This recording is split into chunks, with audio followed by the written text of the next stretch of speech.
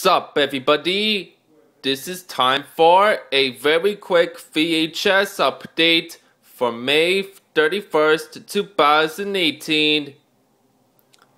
Today I received a VHS in the mail that I've ordered.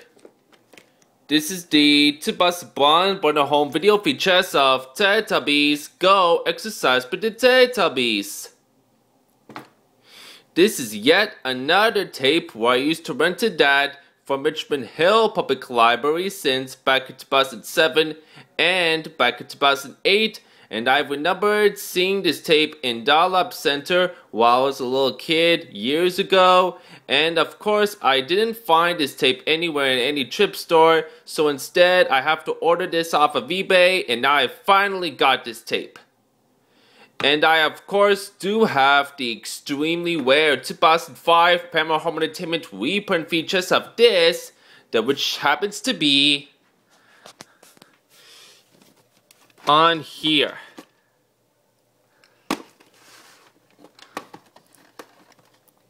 See? This is the extremely rare 2005 Paramount Home Entertainment reprint features of this, which I still have to be exact. And now, I finally got the Tsubasa Blonde Warner home video features of this too anyways.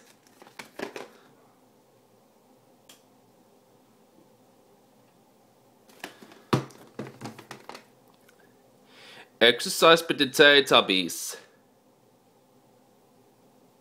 The running time is 70 minutes. And now, um, all of all of the Teletubbies Warner Home video features, which I already have, are in ink labels, but however, my first ever Teletubbies Warner Home video features, which I already have, it does have a dark lighter stick label on it. See? This has a dark lighter stick label on it, which is pretty cool. Printed on February 9th to Bond. And this is a recycled tape. As you could see, there's a much loaded on here is the film strip. Yep, this is definitely a recycled tape alright. And of course, I know there's a rare white stick label features of this, but to be honest, I am no longer needing a rare white stick label of the Tsubasa Blonde features of this. I'm fine with the Canadian copy features of this because I already do have a white sticker label copy of Go Exercise of the Teletubbies VHS, that which which being my 2005 extremely rare features of Teletubbies Go Exercise with the Teletubbies, which from 2005 Paramount Home Entertainment reprint, which I already have, that has a sticker label on it.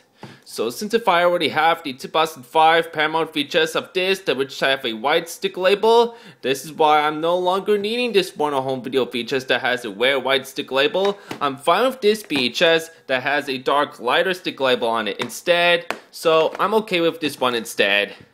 Like, whatever. Alright, and now that's gonna end for my a very quick VHS update for May 31st, 2018, which today is the last day of May. And of course, tomorrow, starting the first day, it's June. So, that's it. I will see you all later, everybody. This is Mustafa, the VHS DVD Blu-ray fan 2005, signing out.